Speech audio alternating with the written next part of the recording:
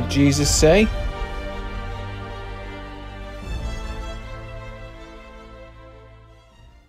Good morning, everyone. I thought I'd start our collective worship today with some beautiful scenery around the world. Now, that footage is real video footage. It's not been made in a computer, it's not some scenes from the movie Avatar. That really is in our world. And our world is a beautiful place. It's hard to imagine at the minute with all the terrible things that are going on, but there really is a lot of wonder and beauty out there. And that's what this week's theme's about, looking at our wonderful world. There really is a lot of beauty out there. And some of the things we can't even see without using a microscope. So today and tomorrow, we're going to look at some wonderful, beautiful things underneath a microscope using some science. Let's begin. Feel free to pause the video at any point. You're going to be given 10 seconds to look at it, but if you need a little longer, pause the video. Science is a fantastic thing. It allows people to learn tons of information about the world that surrounds them. But even better, it lets you look at familiar objects from an entirely different angle. To do this, you need nothing more than a microscope. In this video, you'll see 14 commonplace things in a new light. First, you'll have some time to try to guess what you see in the picture. Then, you'll find out the correct and often entirely unpredictable answer. Number 1. Look at these stunning, colorful objects. Don't they look like minerals and gemstones that have arrived from some faraway galaxy? Unfortunately, it's unlikely that's the case. You get 10 seconds to guess what it is.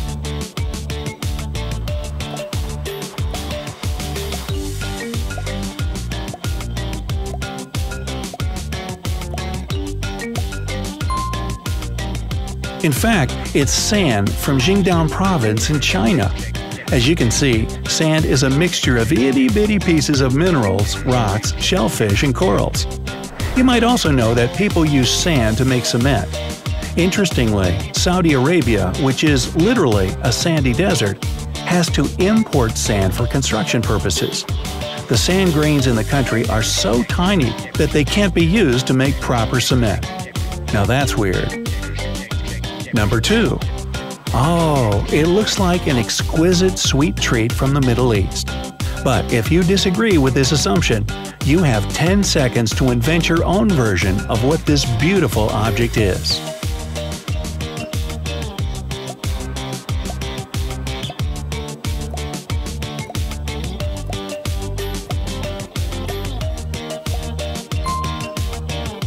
This thing is neither sweet nor edible.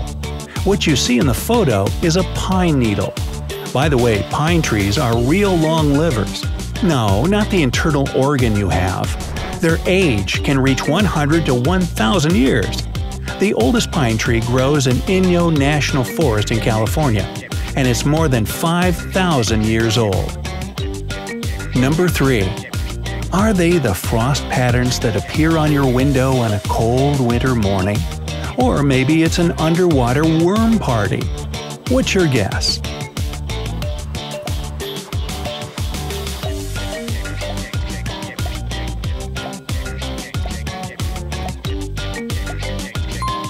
You're absolutely right if you recognize silk fibers under the microscope. This fabric may seem delicate and fragile, but a silk rope is actually stronger than a metal wire of the same diameter. At the same time, silk is less dense in comparison to wool or cotton. Number 4.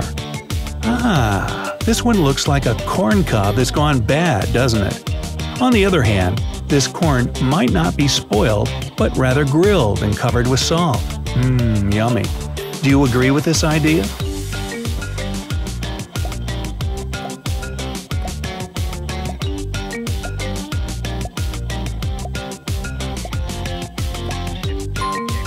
Surprisingly, this object has nothing to do with food. It's a red starfish. Although starfish are living beings, they have neither brain nor blood. Sounds like a roommate I used to have. But starfish can live as long as 35 years. The most amazing fact about starfish is that after they catch their prey, their stomach leaves their body through the mouth and digests the food. After that, it returns into their body. Boy, if people did that at restaurants, that would be totally gross. Number 5. Isn't that a color swatch people use to choose the color of their future sofa? Or are these the roof tiles of a very creative person's house? You have 10 seconds to suggest your own idea.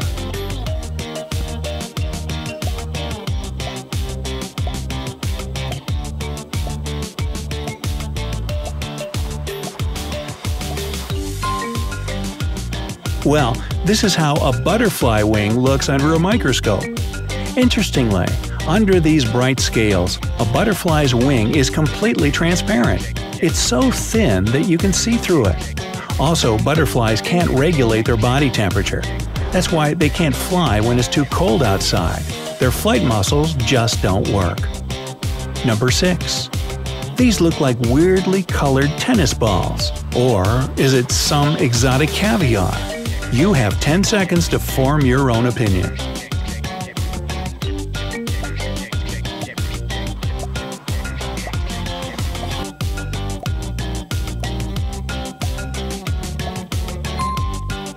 These objects are also connected with butterflies. They are butterfly eggs. However, not all eggs have the same nearly transparent color. Depending on the butterfly species, they can be yellow, green, or white. Butterflies glue their eggs to leaves and grass, and an egg gets destroyed if someone or something tries to move it from its place. Number 7. Hmm, it must be some dangerous bacteria. On the other hand, it resembles some human body cells. Do you agree with any of these assumptions?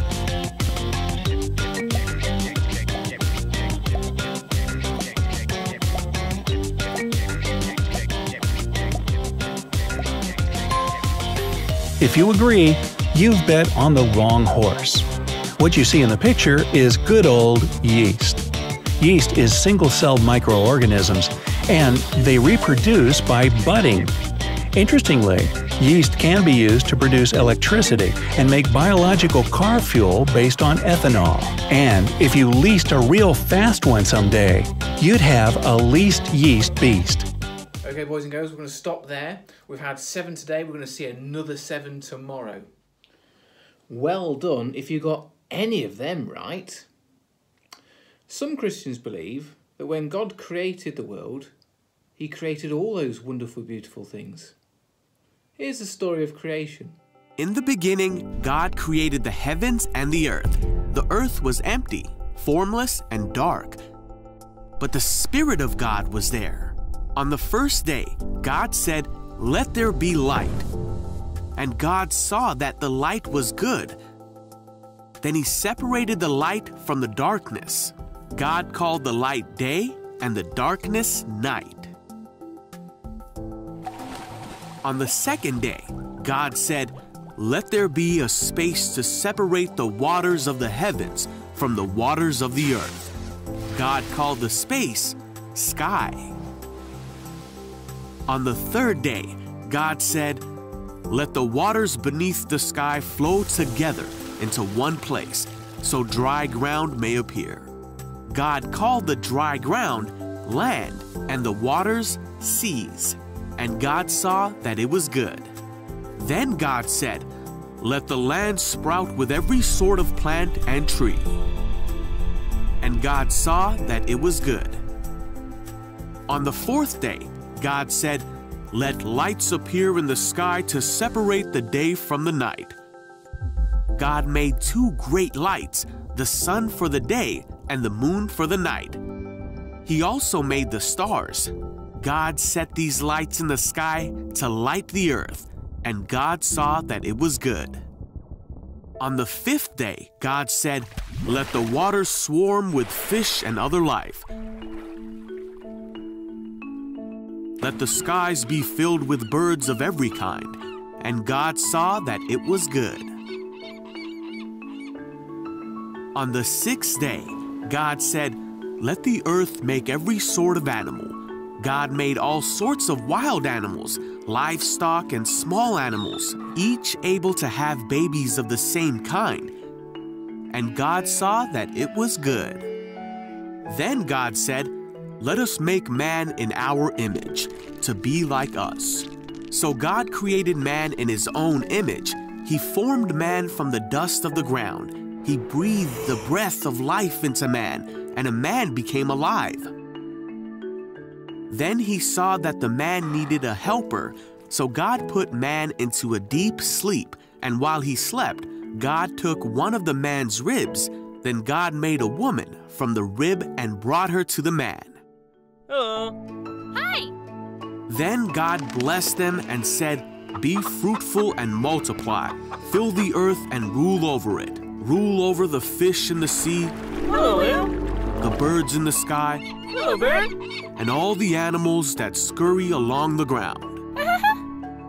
then God said, Look, I have given you every plant throughout the earth, and all the fruit trees for your food, and I have given you every green plant as food for all the animals. Then God looked over all he had made, and he saw that it was very good. So the creation of the heavens and the earth and everything in them was done. So on the seventh day, God rested from all his work. And God blessed the seventh day and said it was holy.